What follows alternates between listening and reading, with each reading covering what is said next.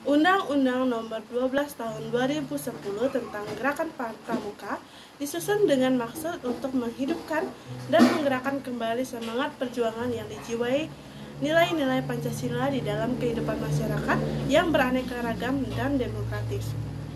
Undang-undang ini menjadi dasar hukum bagi semua komponen bangsa dalam menyelenggarakan pendidikan kepramukaan yang bersifat mandiri, sukarela, dan non-politis dengan semangat Bhinneka Tunggal Ika.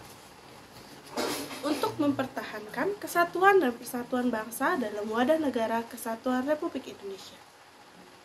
Undang-Undang Nomor 12 Tahun 2010 tentang Gerakan Pramuka ini mengatur aspek pendidikan kepramukaan, kelembagaan, tugas dan wewenang pemerintah dan pemerintah daerah, hak dan kewajiban para pemangku kepentingan, serta aspek keuangan Gerakan Pramuka.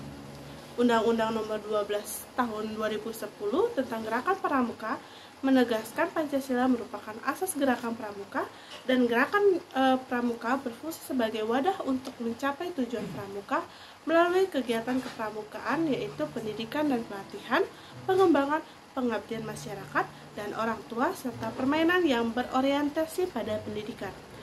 Selanjutnya, tujuan gerakan pramuka adalah membentuk setiap pramuka agar memiliki kepribadian yang beriman, bertakwa, berakhlak mulia, berjiwa patriotik, taat hukum, disiplin, menjunjung tinggi nilai-nilai luhur bangsa, dan memiliki kecakapan hidup sebagai kader bangsa dalam menjaga dan membangun negara kesatuan Republik Indonesia, mengamalkan Pancasila, serta melestarikan lingkungan hidup.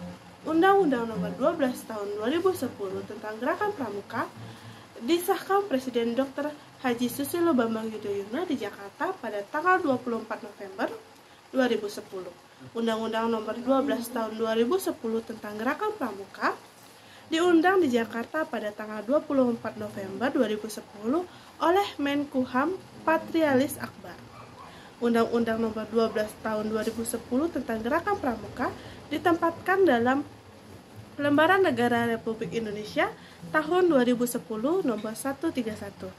Penjelasan uh, penjelasan atas Undang-Undang Nomor 12 Tahun 2010 tentang Gerakan Pramuka ditempatkan dalam tambahan Lembaran Negara Republik Indonesia nomor 5169.